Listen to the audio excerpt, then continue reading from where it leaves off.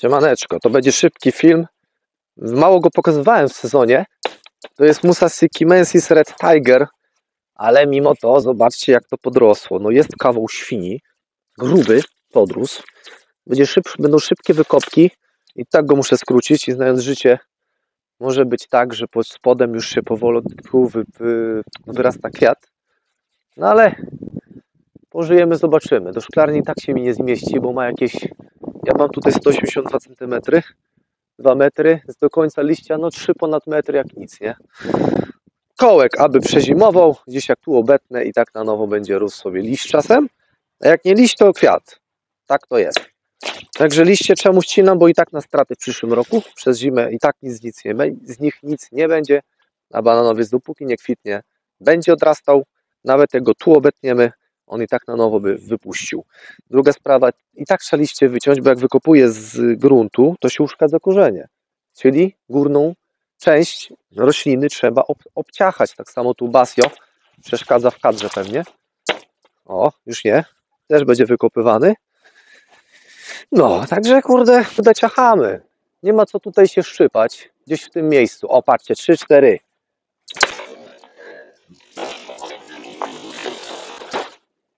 Voilà. voilà.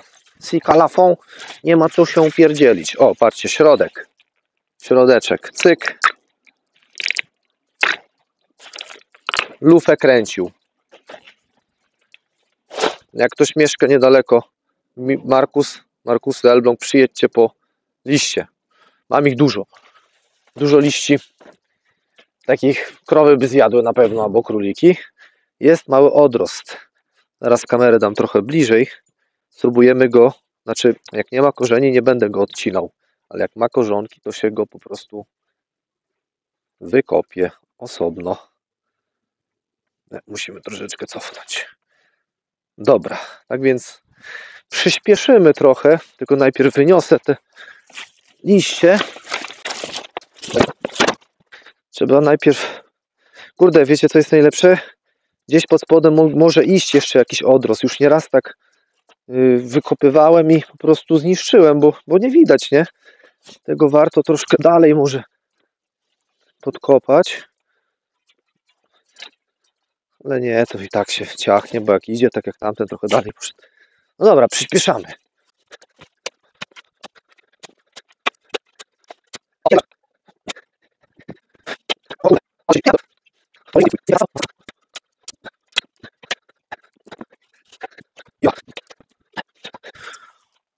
Ja pierdyle.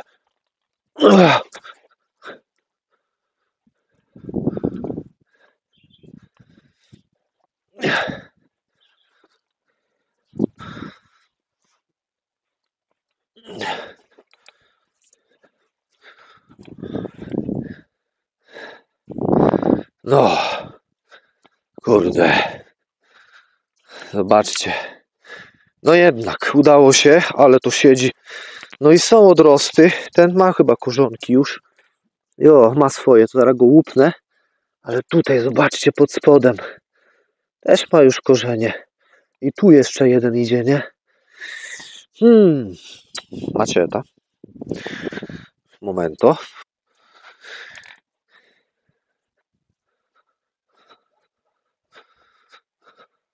Albo nie maczeta. Kurde.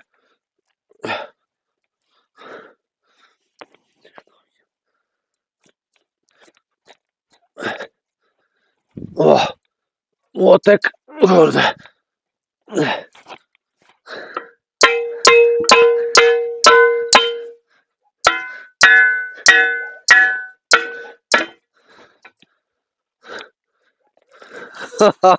Jaki odrost. Zobaczcie na to. Ja pierdzielę. Idzie puszcza korzenie. Dobrze, ja lubię Mensis. To są drugie z bananowców po Maureli, które tak dosyć fajnie rosną. Jezu, a jak tu się dostać?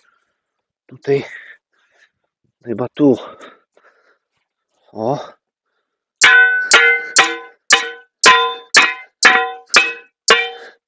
Ja pierdolę.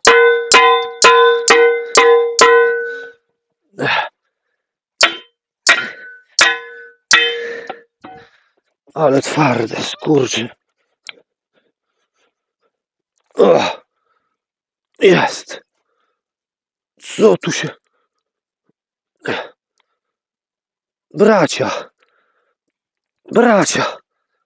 Zobaczcie. No ale kurde, jakie to jest grube. Posadzę je razem. Chyba, że się daje rozłączyć. Da się. Elegancko. No i zaraz to rozsadzę. I będą piękne sadzone przyszły rok. Jeszcze jeden jest pod spodem. O, skubany. No tego się nie spodziewałem.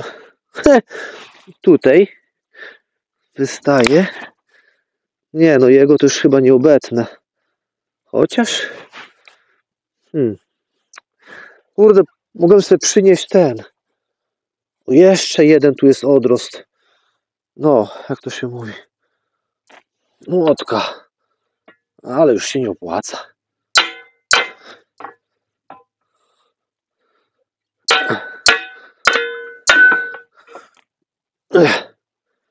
O ty dziadu. Patrzcie. Następny. No tyle dzieci to się naprawdę nie spodziewałem. To trzeba będzie dać do dużej kastry. Jakie tu jest jeszcze jeden. O skubany.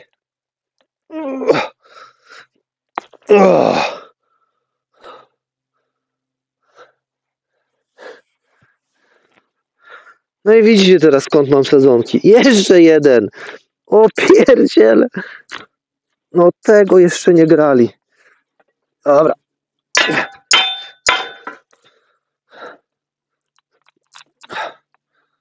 O, jeszcze jest ciepło, wstawię to do szklarni i spokojnie powinno się ukorzenić. Dobra. Teraz trzeba będzie to posadzić. Ja pierdzielę, to chyba rekord z odrostów. Zobaczcie, z bliska, z człowieczkiem. No czekajcie.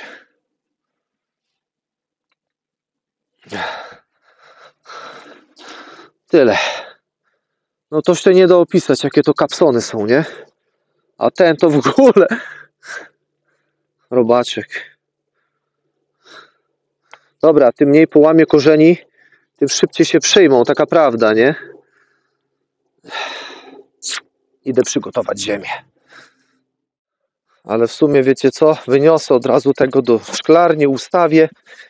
Zajebiste one są, mówię wam. Link tam gdzieś podam, jak zapomnę to napiszcie, to wtedy podam.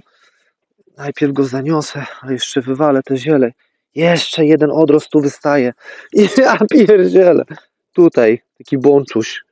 Szkoda, że Maureli nie puszczają odrostów. Dla mnie Sikki najlepiej rośnie na żuławach. Basio tak nie chce rosnąć jak Sikki Mensis, dlatego sobie zostawiam. No wszystkie nie, tam wiadomo, ale zobaczymy co się przyjmie. Pójdą w świat. O, elegancko. Dobra, lecę. Zaniosę to. W tym roku, w sumie już w tamtym też brałem z dołków tą samą, przecież to i tak jest kupno wymieszane z czarnoziemem, więc po co to pieniądze tracić, powiedzcie, nie? No ale jak to było kiedyś, kurde, człowiek testował na różne sposoby, bo myślę, że to będzie w zimę coś dawało. A to tak nie działa. Wejdzie? Wejdzie. Bo w zimę to ma bardzo powoli rosnąć, więc nie wymaga jakiejś, o, ale wystają jakichś tych y, bardzo dużych ilości y, witamin i tak dalej. To ma wegetować, trochę połamie, ale oj, grunt, że wszedł. I podstawa, żeby taka dosyć sypka ziemia była, to tam się ładnie dostanie do, do dna. Część, większość i tak tych korzeni zgniją, puszczą na nowo. W ogóle to najlepiej jest poobcinać te korzenie. W sumie może nie wszystkie, bo włoskowate mają też takie, wiecie, no takie, że niedawno puściły się dopiero ukorzenia. Ej, łamać co nieco. No i to wszystko trafi po prostu do szklarni, podleję to konkretnie. I wyniosę sobie w kastrze i ten. Dobra, przyspieszamy.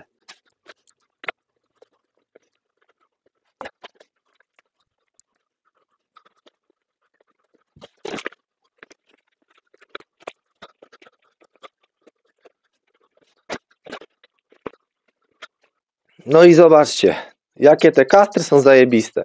Jak jest ta zwykła, nie miękka, no to nie zgnieciecie jak tę, nie? Zgniotłem, cyku, cyku, cyku, pyku, znaczy się Dosypię teraz ziemi tej ze szklarni, zaraz podlejemy. U góry też podlejemy.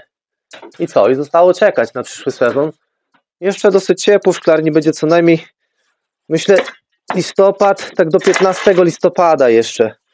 Wychodzi słońce, tak dosyć jeszcze grzeje, to tutaj po 30, nawet więcej stopni potrafi być, nie? Także tak to wygląda. Jakbyście myśleli o zimowaniu takich roślin, to nie jest poliwęglanu, bo nawet centymetr poliwęglanu nie zastąpi szyby zespolonej, tak jak tutaj. O, podymam trochę, bo opada. Pamiętajcie o tym, że to musi być szyba zespolona z dwóch minimum. A najlepiej to postawić taką szklarnię z szyb zespolonych z trzech. O kurde. Wtedy to i ładnie trzyma już. Jak dobrze uszczelnicie i tak dalej, nie? No. Dobra. To ma tylko przezimować, troszkę się ukorzenić. Także następny bananowiec sobie znaczy został wykopany. O. I będzie czekać do wiosny. Mam nadzieję, że nie będzie kwit. Bo jakby szedł kwiat, ale nie idzie, bo jak chciałem, to nie widziałem.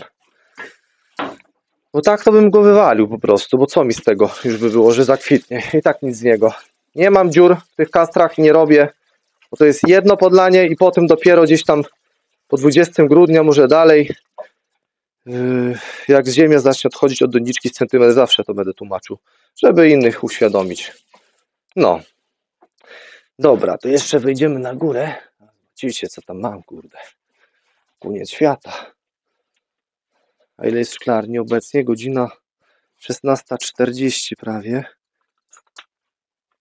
A w szklarni mamy drzwi otwarte 16 stopni. Widać? Widać. Wchodzimy, podlewamy i kończymy ten film. Jeszcze trochę i znowu nie będzie miejsca tutaj, kurde. Jak co rok. Ciasno. O Jezus Mariusz. O, patrzcie, już sobie podpisałem. O, tutaj u góry od razu czuć, że jest ciepły, co najmniej 20 parę stopni, nie? Może te mniejsze mogą się nie ukorzenić, bo mało, mało dosyć miały tych korzonków. No, ale pożyjemy, zobaczymy. Co rok to samo. Uda się, to się uda. Nie uda się, to się nie uda. Będzie czego sobie kupię, sadzonki i tyle. No. Tak więc dziękuję za uwagę. Naziłem się. O, patrzcie, rośnie ten tekstylis. I tego muszę tam podlać, bydlaczka. I do następnego, bo muszę jeszcze iść po wodę i podlać jeszcze raz.